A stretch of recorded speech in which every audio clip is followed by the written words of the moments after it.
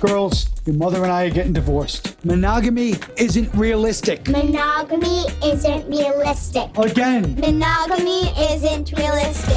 I didn't understand that word at the time, but now I know exactly what he was talking about. Saturday, I would love it if you were my date. I can't do that because, like, you and I won't ever see each other again. I wake up late every morning, manager's calling, I'm still oh, yawning. Oh, morning. Oh, Amy. What happened? Did church let out early? Ooh, I like Tom's sweater. Does he teach computer in a church basement? Don't get all threatened just because you don't understand the concept of marriage.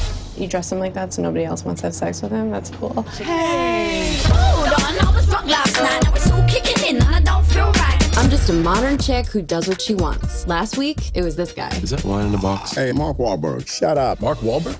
Mark Wahlberg's like 150 pounds. I look like Mark Wahlberg ate Mark Wahlberg. Before you judge, you should know I'm doing fine. My friends are awesome, my apartment's sick, and I have a great job at a men's magazine. I like you, Amy. You're clever, but you're not too brainy. You're pretty-ish, and you're not gorgeous. You're approachable.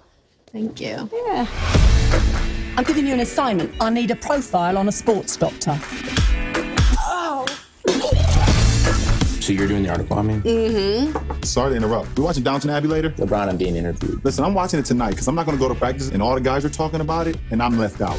Tall. You follow sports? Sports. I love them. Who's your favorite team? The Orlando Blooms. Do you want to get a drink? Yeah.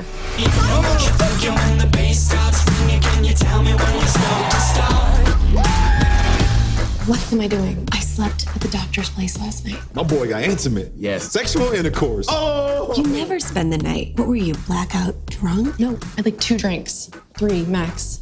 Four now that I'm tallying. Because you're on antibiotics or something? Oh my god, he's calling me. Why would he call? You guys just had sex. This is Amy. I think you butt dialed me. No, I dialed you with my fingers. What's she saying? What's she saying? He called me on purpose. Hang up. He's obviously like sick or something. I was calling to say I had a really good time last night. I was wondering if you wanted to um, hang out again. I'm gonna call the police.